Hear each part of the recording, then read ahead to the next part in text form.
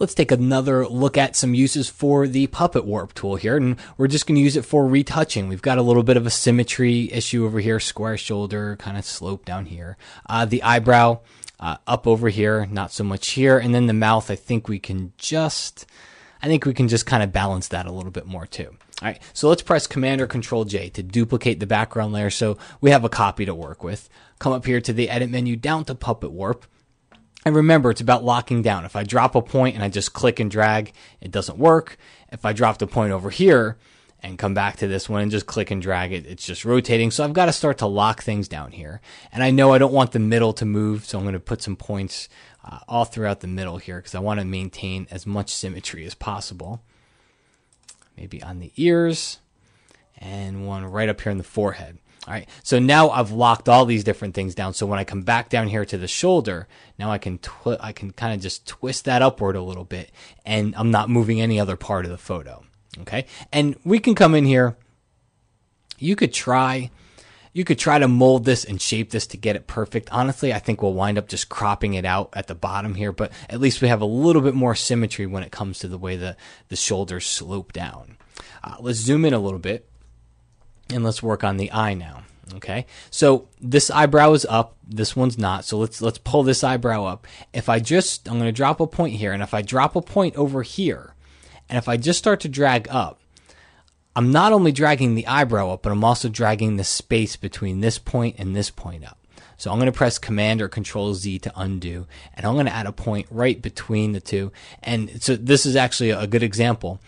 It's not letting me do it because it's too close to the existing pin. So what I can do if that happens, if I want to put two pins closer together, I can come up here to the density setting and put more points. And you're going to watch the little triangles, they get smaller. All right. So now I have a smaller density. I can come in there and I can click and I can add a point. So now when I start to drag this up, now it really is just pulling it up and it's not pulling the actual eye upward. And if it's hard to do with your mouse, it's kind of hard to fine tune and control. You can use your arrow keys. I'm using my up arrow key just to nudge that just a little bit, kind of a little bit more there. All right. And this eye is opened a little bit more than this one, so we can actually click on this point and see if we can just. I'm just again using my up arrow key, pulling it up. I don't want to go too far because I don't want to. I don't want to distort the eye. All right. I think that's looking okay, and then we'll come down here. Let's work on the mouth. We've got one in the middle. I'm going to put one on the end over here. I'm going to put one on the end right over here. And if I if I start to move this, you're going to notice I start to move half of the mouth, which isn't really what I want to do. So I'm going to add one more point, and I can do that because I've I've changed my density. I wouldn't be able to do this before because I, I actually tried it, uh, but I can do it because I changed my density and just use my up arrow key and just see if we can just kind of curl that up a little bit. Okay, nothing too crazy. I just want to add a little bit more symmetry on the mouth there. All right, so let's back out hit enter or return, and that commits your changes. And uh, let's take a look here. So that's before, and that's after. We'll take our crop tool, come in here, and maybe just crop there. So now we have a little bit more symmetry when it comes to the shoulders. Everything's squared off a little bit more. Again, here's before, here's after. So you can see the eyebrows pulled up. We kind of increased the size of the eye a little bit. All right, we've got the mouth. I, I could probably even take that side of the mouth and, and do a little bit more if I wanted to, if I was going to come in here and do it again.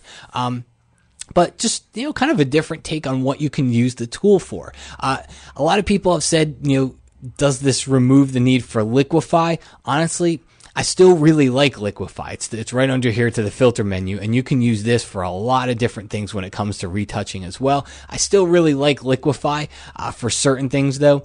I think the puppet tool works pretty good at being able to come in here and control certain areas of the image while locking down other areas. All right, so uh, there you have a couple a couple lessons on the puppet tool. Again, I mentioned it in the last video. It's kind of a weird tool.